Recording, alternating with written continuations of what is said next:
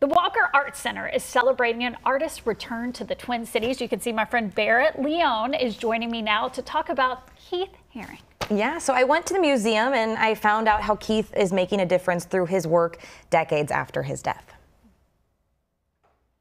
You might recognize the bold colors, or maybe it's the distinct drawings. So this exhibition is really the, um, the story of a young artist. It's an artist who had an incredible trajectory. That young artist is Keith Haring. Well, I think what's really amazing about Haring is that he had the ability to embed so many things in his art. From sculptures to paintings to crawling babies, Haring's brief but intense career spanned across the 1980s. Decades after his peak, Haring's work is now on display at the Walker Art Center in Minneapolis. He was always about making sure people had access to his art and that, that ability to connect um, is very rare. You know, he was, he was very exuberant as a person and as an artist, and um, it shows in the exhibition. But it's not the first time Haring's exuberance was felt here.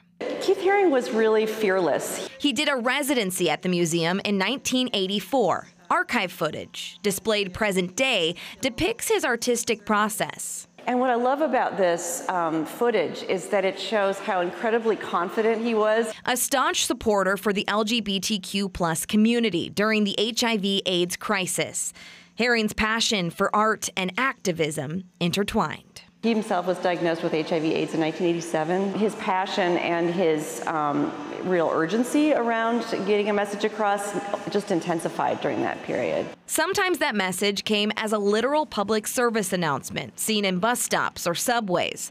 Other times, more subtle. He gained fame very quickly, and as we see from the works in the exhibition, he really made an impact on culture at large. An impact on culture, and so much more. He was an artist who was really about joy and exuberance and um, a message about art being for all, but also an artist who had very passionate activism and was very much about social and political issues. So he really did both. His impact lives on.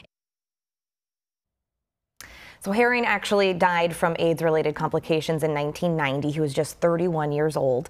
The Keith Haring Art is for Everyone, Everybody exhibit will be at the Walker through Labor Day. And the Walker tells mm -hmm. us that they're thrilled to showcase this exhibit, especially during Pride Month. And they're going to have a presence at the Pride Festival in Loring Park. Yes, well, in such a short life, he made such a big impact. Such a difference, yeah. yeah wonderful. Thank you for sharing that, Barrett. Mm -hmm.